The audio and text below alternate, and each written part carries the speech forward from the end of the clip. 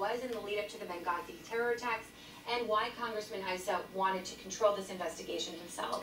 Yeah, um, I think that one of the, the big things here and the big takeaways in these latest emails that we're getting out of the State Department is that you know there are a little there's a little bit more re Republican involvement than had originally most people had thought. Both parties here. Yeah, they're quick to, to go after Hillary Clinton on this, and she has her own things she needs to be held accountable for. But the Republicans weren't innocent in all of this. And what we've learned through some of these emails, and, and this is just a copy of the State Department email that we received, and uh, it, it, it brings Rogers into this discussion.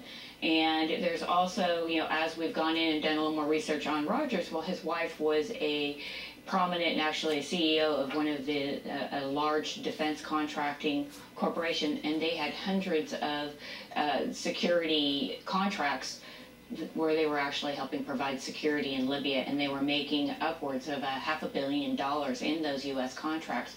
That's confirmed on USA Spending.gov, so we do know those contacts. Um, those actually were out there and they existed. Now, both Rogers and his wife. Quietly resigned in December of this last year, trying to kind of you know sneak away. So we know Rogers is not going to face much under the House, House Ethics Committee, but he will if there's any if they find any kind of wrongdoing or any kind of illegal right. actions. Him and his wife could be be held accountable in a in a court of law at some point. We don't know where that's going to go. We reached out here from San Diego Six to Darrell Issa's office.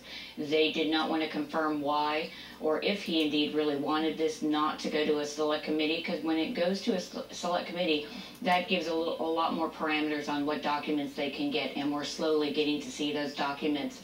Um, one of the questions I had, I think one of the big things is the Defense Intelligence Agency, 10 days before the actual attack on Benghazi, had a, um, a threat assessment out saying that an attack was imminent in Benghazi. I reached out to DIA yesterday to find out if they would acknowledge this. They said yes, and I asked if they would notify Aegis Contracting, which is what uh, Roger's well, wife was you under. have known about this for, for years. I mean, this is not new. So I want to send you to san diego6.com yeah. because a lot of yeah. Kimberly's reports there. are there, so you can read them in, in their you know full capacity. So thank yep. you, as always, so much yep. for your time. Thanks. And still ahead, we